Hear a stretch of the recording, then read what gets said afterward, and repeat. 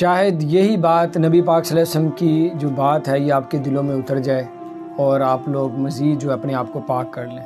नबी पाक सल्लल्लाहु अलैहि वसल्लम ने इरशाद फरमाया कि मैं अपनी उम्मत के ऐसे लोगों को भी जानता हूँ कि वो इतने अच्छे अमाल क़्यामत के दिन लेके आएँगे कि उनके जो है नेकियाँ इतनी ज़्यादा होंगी कि उससे ऊँचे ऊँचे पहाड़ों की तरह जो है वो नेकियाँ जमा होकर पहाड़ की तरह उनकी नेकियाँ इकट्ठी हो जाएँगी।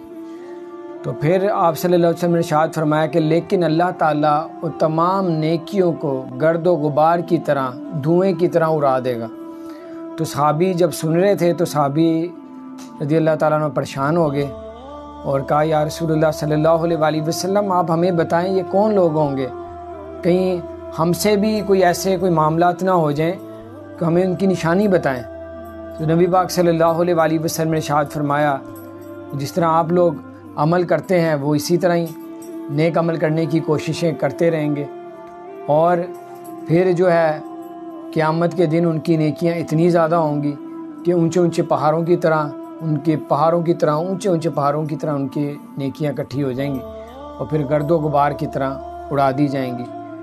और ये इस गुनाह की सज़ा होगी कि वो लोग जो हैं, वो तन्हाई में अपने आप को पाक नहीं रखेंगे। तन्हाई में जो है, वो बेहयाई के काम करेंगे।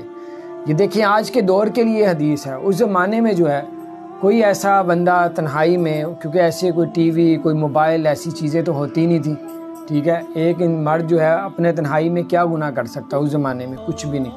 आजकल के दौर में जो है, वो आप देखें कि मोबाइल के अंदर पूरी दुनिया है।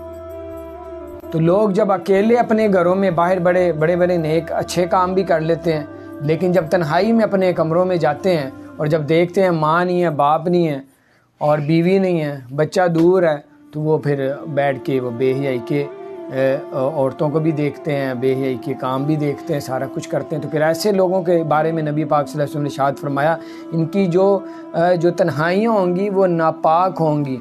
और ये बेहयाई के काम करेंगे तन्हाई में। और जो लोगों के सामने वो ऐसे ऐसे नेक काम करेंगे, ऐसे ऐसे नेकियाँ करेंगे क़यामत के दिन वो ऐसी बड़ी बड़ी नेकियाँ लेके आएँगे, पहाड़ पहाड़ जितनी उनकी जो है नेकियाँ इकट्ठी हो जाएँगी। तो बहरहाल, अल्लाह ताला से दुआ करें कि अल्लाह ताला इस तरह के बेहयाई के कामों से हम सबको जो है अल्लाह ताला बचा के रखे। और अगर ज़रा से भी ऐसी कोई हरकत जो मेरी वीडियो देख रहा है, सुन रहा है, या आगे किसी तक पहुँचती है, किसी के अंदर ये मामला हैं तो अल्लाह ताला से तोबा करें, माफ़ी मांगें। ये ना हो कि उसी तरह नेकियाँ इतनी सारी इकट्ठी करके लेके जाएँ तो गर्दो गुबार की तरह सारी नेकियाँ हवा में उड़ जाएँ। तो फिर पल्ले कुछ भी ना हो, और फिर इंसान का जब नेकियाँ नहीं होंगी तो वह दोस्त की होगा। जो गुनाहों का पड़ला भारी हो जाएगा, नेकियों का हल्का हो जाएगा तो वो दोजक में चला जाएगा। तो बार अल्लाह ताला से माफ़ी मांगे, तन्हाइयों को पाक करें। अगर आप अकेले हैं, अब शादीशुदा भी हैं, और बड़े आप नेक भी हैं, नेकियाँ भी करते हैं, जो भी आपके मामला हैं तो आप तन्हाइयों को पाक रखें। मोबाइल के अंदर ये सारा कुछ उन्होंने दिया हुआ है। ऐसे आप देखते देखते बड़ी चीज़ें आ जाएँगी आपके सामने। और जब आप देखना शुरू हो जाएँगे तो आँखों का जना होगा। जब आँखों का जना होगा तो फिर उसका गुना भी मिलेगा।